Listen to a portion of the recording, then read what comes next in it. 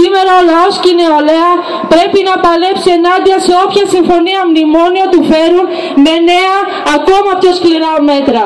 Να παλέψει για κατάργηση εδώ και τώρα όλων των μνημονίων και των εφαρμοστικών τους νόμων για ανάκτηση των απολειών ξεκινώντας από συγκεκριμένα άμεσα μέτρα πραγματικής ανακούφισης για το λαό.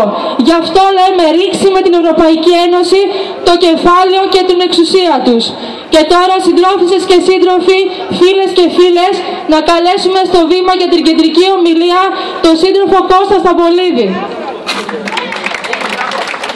Αντιρροσυγκαρπή και τη διποταγή με το κουκούε και την ανατροπή.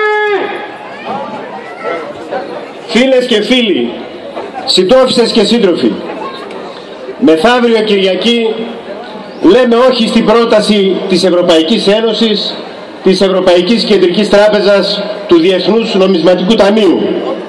Λέμε όχι στην πρόταση της κυβέρνησης αποδέσμευση από την Ευρωπαϊκή Ένωση με το λαό στην εξουσία.